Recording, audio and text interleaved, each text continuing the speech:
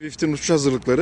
Ya küçük modelin de güzel tarafları var. İşte böyle bir, bir sürü para vermiyorsun. Minicik bir pil takıyorsun üstüne. Uçuyor gidiyor. Kuş kadar. Orhan Tan iyi bilir. Bu da monte etsek ya.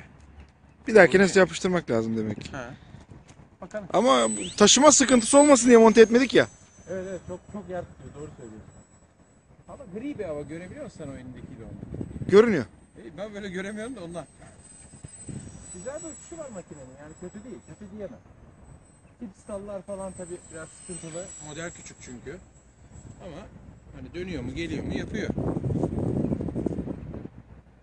Ve büyük büyük bir sıkıntı yok.